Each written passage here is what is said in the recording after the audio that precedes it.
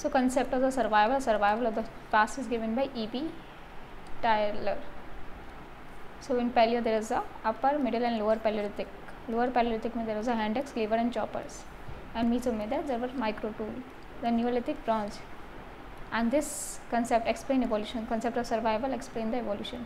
So in the micro tools of the Mesolithic, if the crude hand axe of the Paleolithic is found, what will you conclude from them?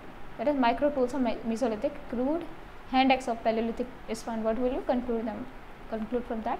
Crude hand axe some generation ago was having a function. Over the generation it is found existing with no function. Such a kind of culture traits that have had a function earlier and right now they do not have any function to perform but still surviving. They are called survival of the past.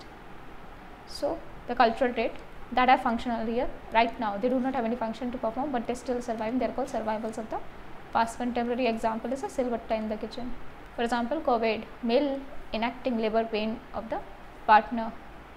So matrilineal, lineal means you are tracing your descent.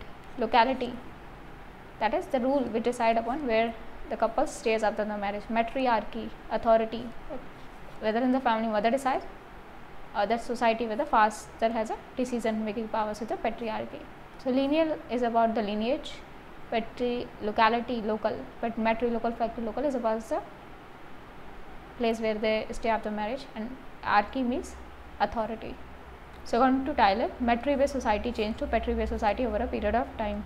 Matri based society came first. There was matri lineage matri locality and matriarchy so along with these we had couvade practice.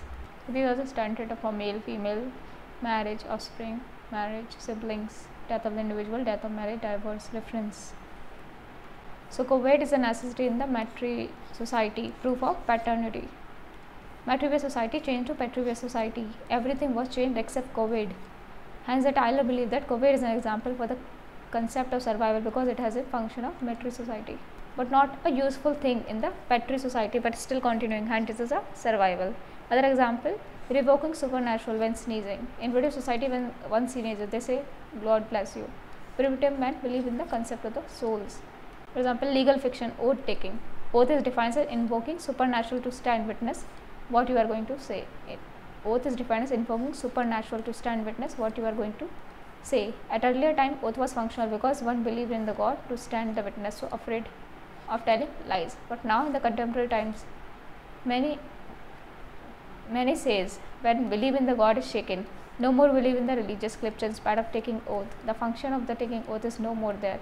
There is no utility but continuing with it with the survival of the past. So the taking oath is the survival of the past. So by the Henry James Sumner Maine. He was a British anthropologist. This Henry Maine is an anthropologist. The Maine says, Henry Maine says, when belief in God is shaken, no more believe in the religious scripture. In spite of taking oath, the function of taking oath is no more there. There is no utility, but continuing with it is the survival of the past.